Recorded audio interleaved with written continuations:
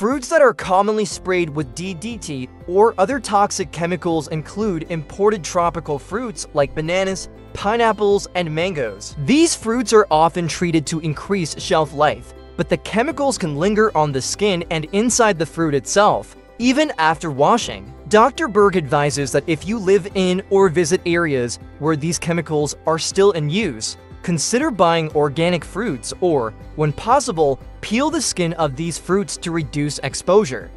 The best option, choose fruits from regions with stricter pesticide regulations to ensure you're not consuming harmful chemicals.